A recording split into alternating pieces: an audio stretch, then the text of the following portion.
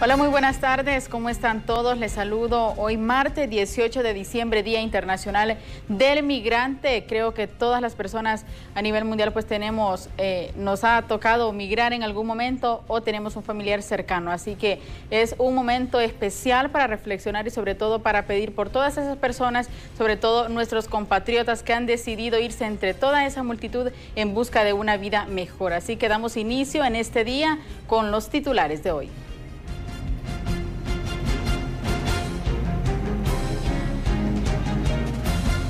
La Organización de las Naciones Unidas conmemora hoy 18 de diciembre el Día Internacional del Migrante. A seis meses de haber sido desalojadas, las familias de la colonia Godoy continúan en Perisur a esperas de una vivienda que les prometió la alcaldía municipal. Médicos de Servicio Social de la Universidad Católica de Honduras protestan en el Hospital Mario Catarino Rivas de San Pedro Sula.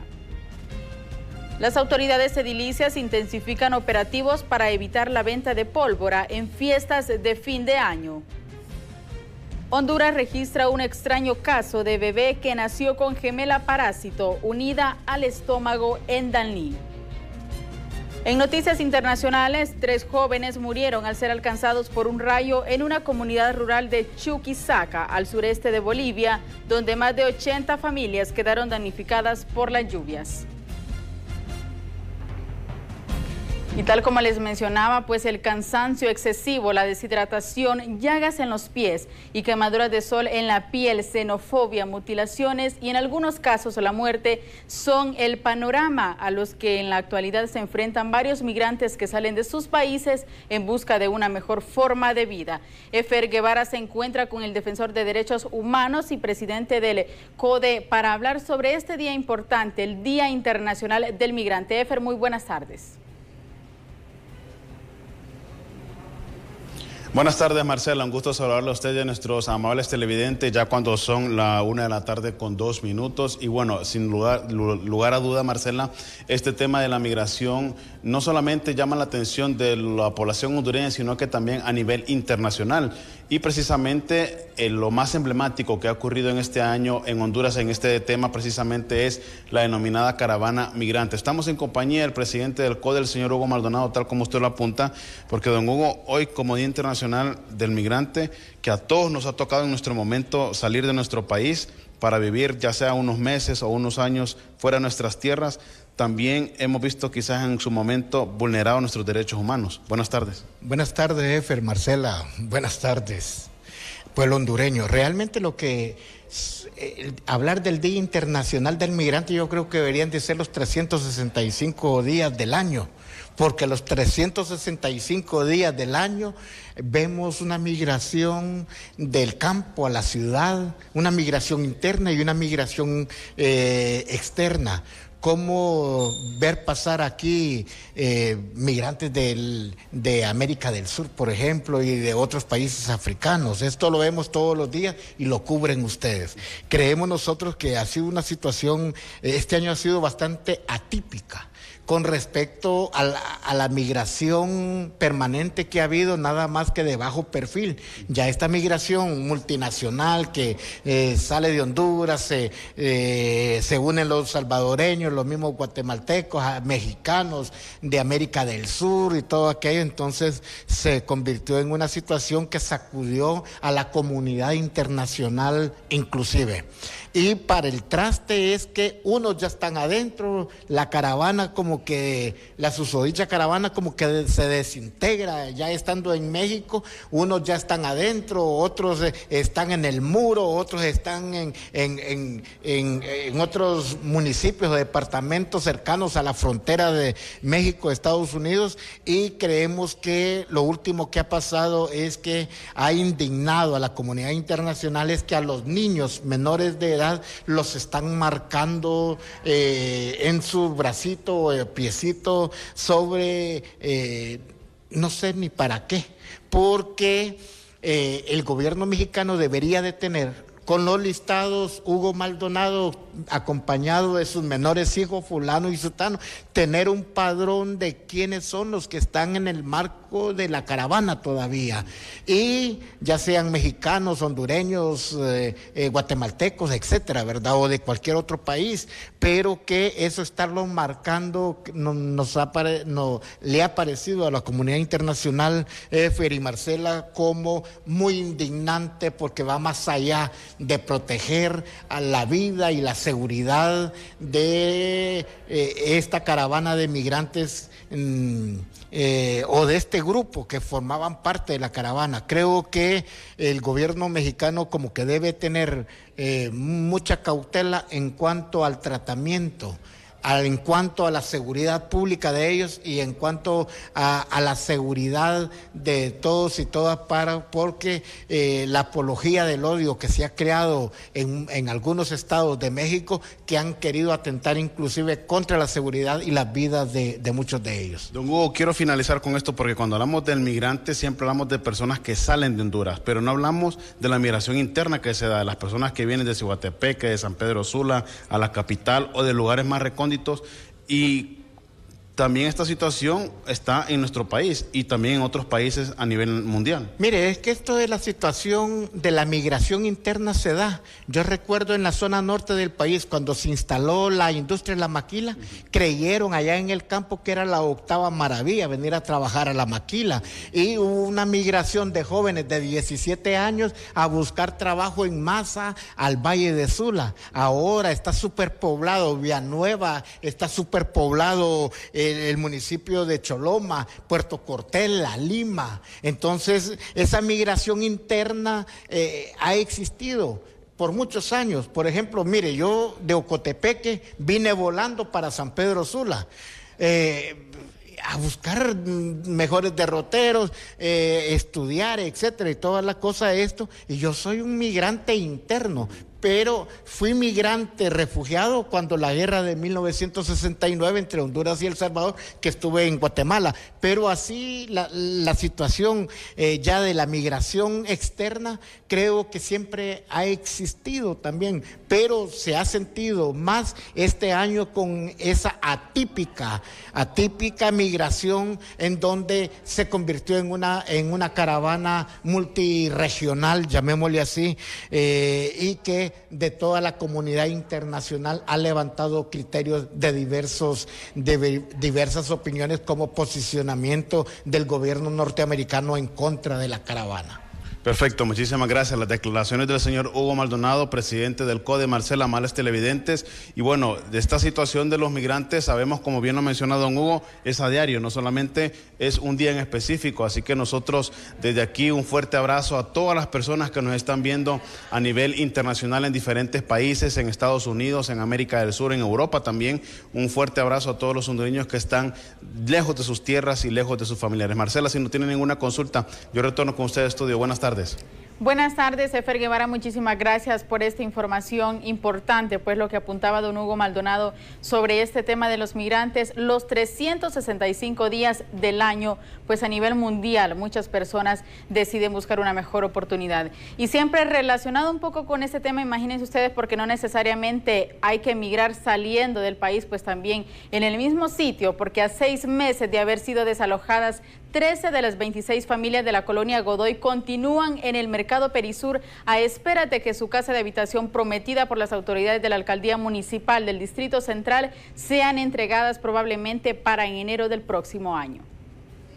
Pésimo, horrible que pues pasamos muchas cosas, nos enfermamos, eh, nos golpearon los niños, bueno, fue horrible. Eh, aparte pues perdimos nuestras cosas, lo poquito que teníamos pues lo perdimos pues ya aquí estamos un poco más tranquilos y sí, pero así a veces pues uno pasa, como le digo, siempre necesidades, pero gracias a Dios pues estamos bien. Ahorita, como le digo, pues nada más muriéndonos del frío porque si no tenemos un techo y eso nos está afectando. Esperemos que no se nos enfermen los niños, ¿verdad? Que no por el clima. Nosotros tenemos comunicación pues con Aníbal Erles, eh, él está pendiente de nosotros, igual como Dori Gutiérrez no nos ha dejado. Ella es una gran persona a quien le agradecemos mucho, que siempre está pendiente de nosotros. Eh, cualquier cosa nosotros la llamamos y ella está acá. En otro tema, los médicos en servicio social de la Universidad Católica de Honduras protestaron este martes para exigir igualdad de derechos en el Hospital Mario Catarino Rivas de San Pedro Sula, al norte del país. No fuimos incluidos en el convenio, se nos ha excluido y sí tenemos los mismos derechos y realizamos los mismos trabajos, recriminó uno de los manifestantes. Además señalaron que la protesta la realizan 40 médicos que que, bueno, ellos ofrecen su servicio social en el departamento de Cortés. Esperemos que nos resuelvan este impasse lo más pronto posible, apuntaron. Mientras tanto, las autoridades de salud informaron este día que el departamento de Cortés es el que muestra más índices de dengue y que el 80% de estos casos son de menores de 18 años de 1.300 casos registrados hasta la semana 49. Y eh, estamos interviniendo. Eh, ando acá revisando cómo va el plan que se está desarrollando y eh, hemos solicitado apoyo de expertos de la Organización Panamericana de la Salud porque todavía no tenemos resultados. La cantidad de casos se mantiene más o menos entre 80 y 90 casos semanales estamos registrando. Eh, la mayoría eh, están yendo al hospital Mario Rivas y eh, esto nos dificulta porque tenemos que internarlos y estarlos vigilando porque no queremos que ninguna de estas pacientes pueda morirse. Y una madre dio a luz hacia mesas que nacieron unidas de su pecho en la ciudad de Danlí, El Paraíso, esto al oriente de Honduras, por lo que serán trasladadas al Hospital de Especialidades María, en esta capital donde serán evaluadas. Lidia Valladares, abuela de las bebés, aseguró que no tenía idea de lo que sucedía, ya que su hija nunca se hizo un ultrasonido debido a que viven en una aldea remota en Trojes. La madre de las menores, una joven de tan solo 19 años de edad, ya se encuentra recuperándose desde el pasado viernes que ingresó a las 2 de la tarde y dio a luz a las bebés.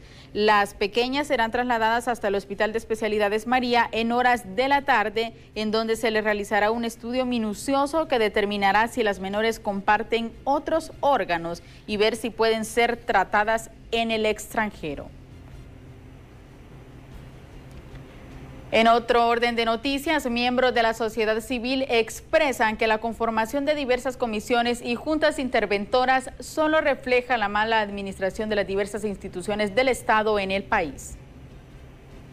El problema de las juntas interventoras es que viene a reflejar la falta de liderazgos que hay en el gobierno eh, actual. ¿no? Eso es un problema porque cuando tenemos comisiones que intervienen y que están trabajando a la par de un ministro, es porque el ministro no, da el ancho. ¿no? Eh, creo de que el modelo de junta interventoras o de comisiones interventoras no es un modelo sostenible. Eh, la administración pública no fue diseñada para estar eh, en, constante emergencia y en constante improvisación.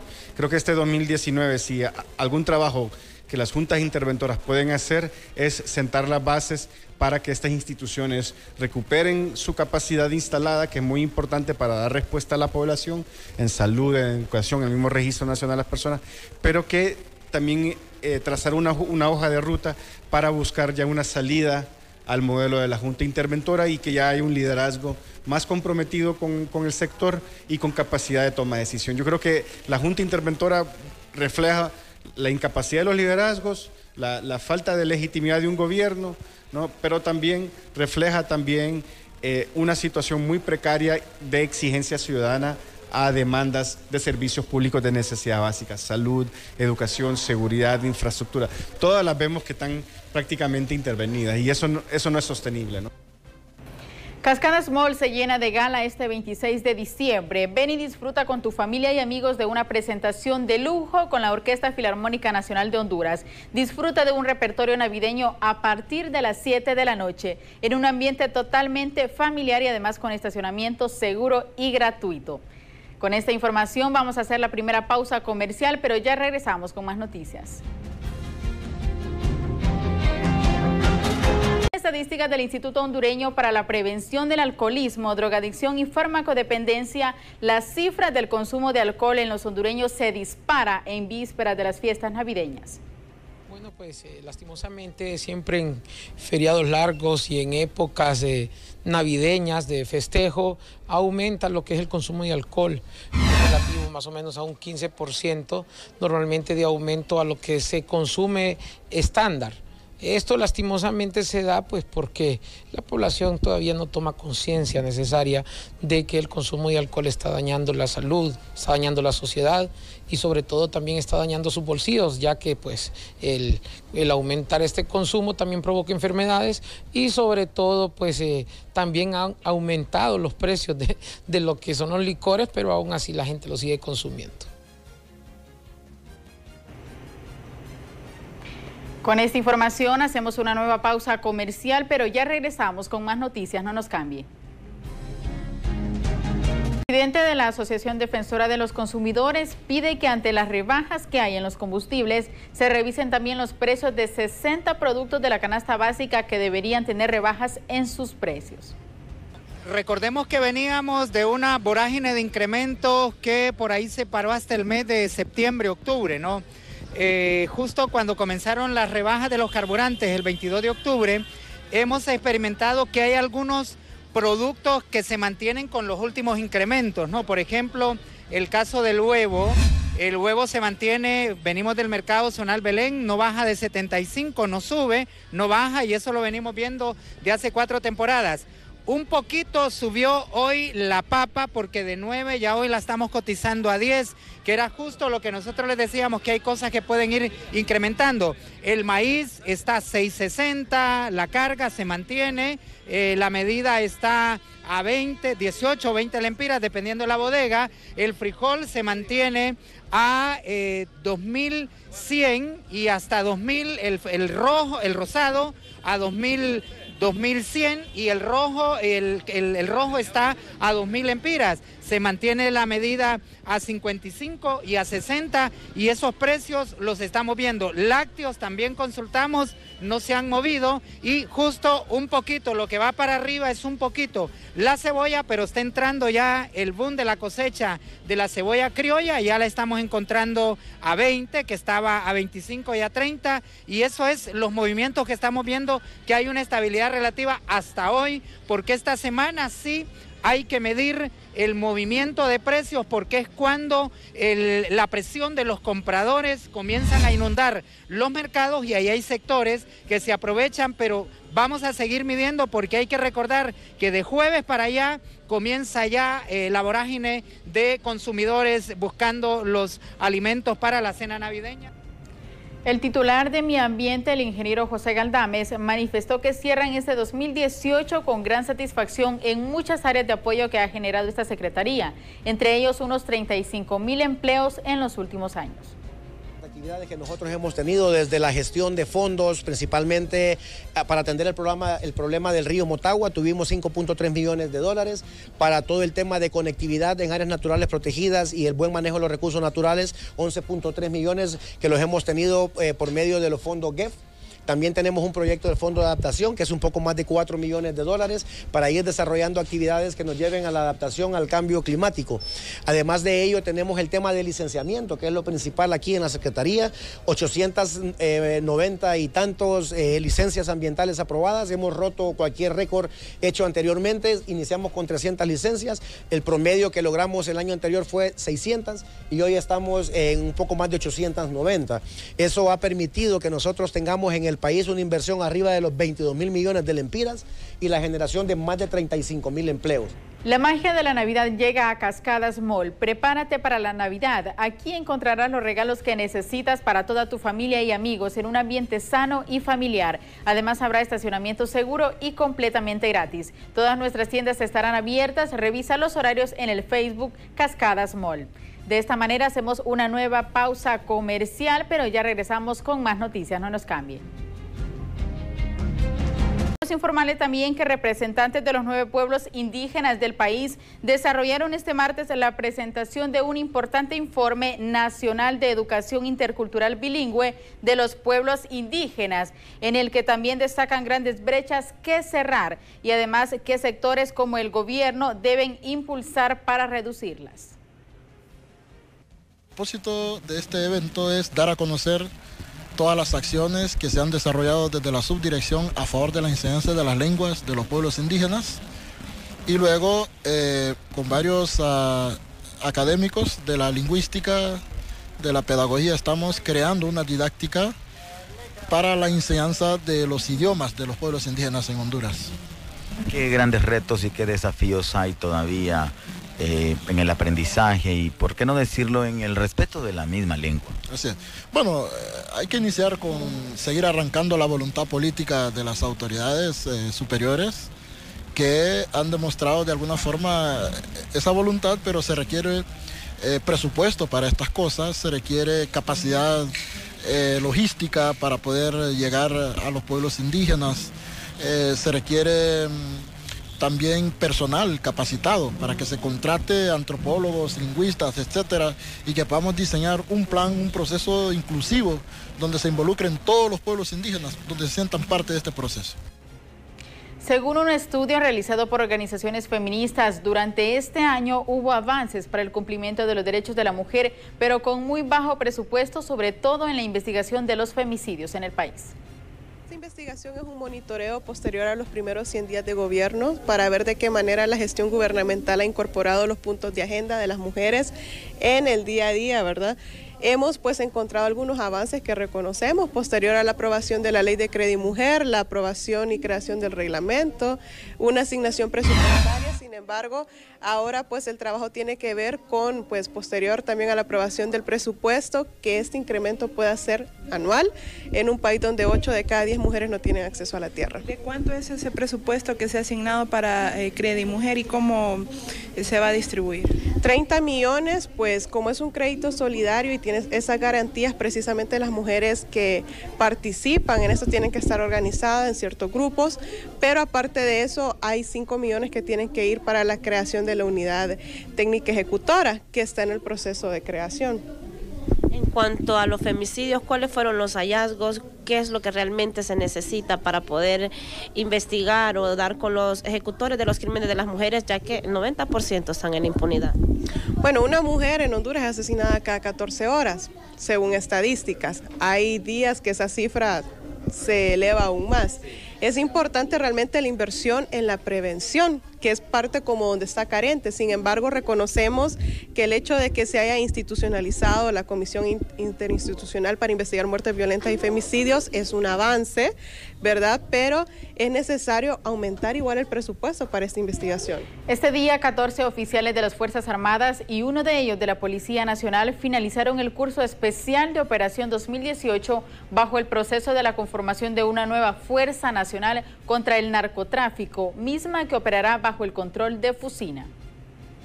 Acaba de prácticamente graduar un total de señores oficiales, 15, que finalizaron satisfactoriamente el curso eh, relacionado con eh, ejecución de operaciones contra el narcotráfico, análisis, investigación, análisis de riesgo, que serán integrados a la nueva fuerza que está en proceso de creación, que es la Fuerza Nacional contra el Narcotráfico, que se sumará a las operaciones en el marco de Fusina.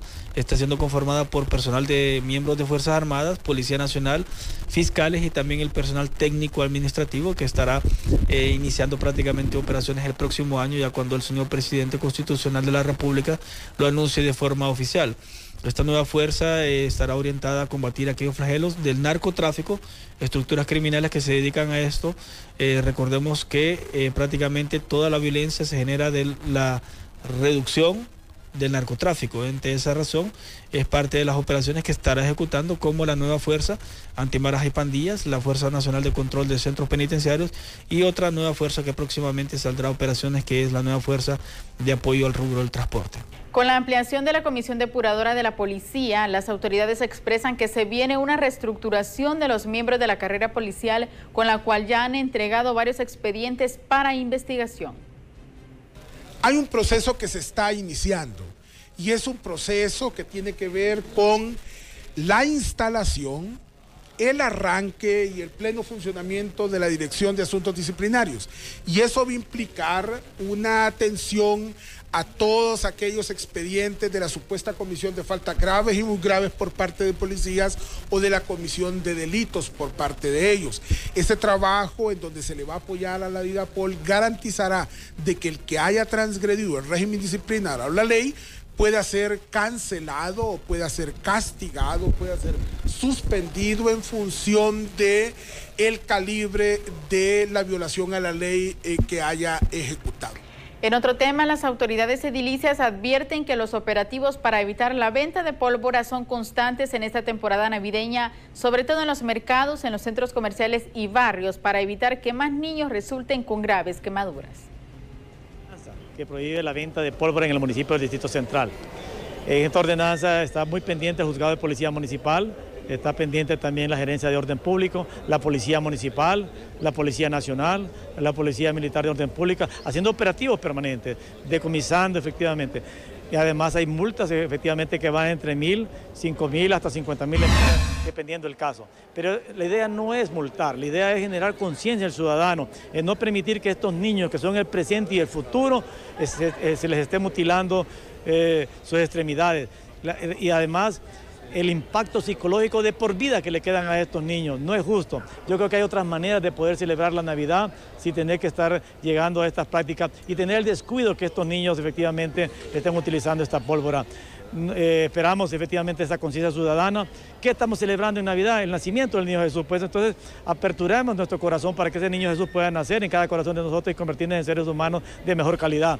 Disfrutemos en familia, es para eh, fortalecer los lazos de familia, para fortalecer los lazos de los amigos y tener un llamado de atención totalmente a estos niños. No estamos en contra de la pólvora, hay una ordenanza, pero la irresponsabilidad de dejarlo en manos de estos niños inocentes, yo creo que realmente tenemos que reflexionarlo mucho. Ocho niños que están ya sufriendo un trauma de por vida, de por, vida.